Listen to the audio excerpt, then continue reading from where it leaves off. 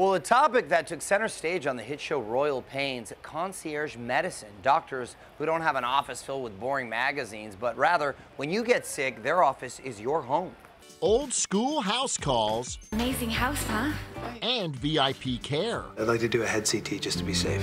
Royal Pains Dr. Hank might seem like a genius concept for TV, now meet the real deal Beverly Hills concierge doctor David Nazarian. Our patients range from high profile to average people that value their health. Yep, from movie stars to famous athletes to business tycoons he'll never name, Dr. Nazarian's practice is all about personalized care. Medicine has lost its touch. It's become like an assembly line. And just like Dr. Hank, Hope you enjoy your stay.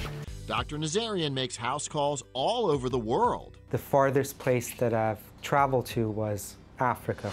Back here at home, Dr. Nazarian has built a state of the art one stop shop so patients don't have to office hop for different tests. We look at them from a 360 degree point of view. And because he believes prevention is a giant part of the health equation, Dr. Nazarian has a full time on site nutritionist who also happens to be his wife, Desiree. I create um, customized meal plans and I also give them exercise recommendations. Online right now, Dr. Nazarian's checklist of the top eight tests every person should have once a year. That's at extratv.com.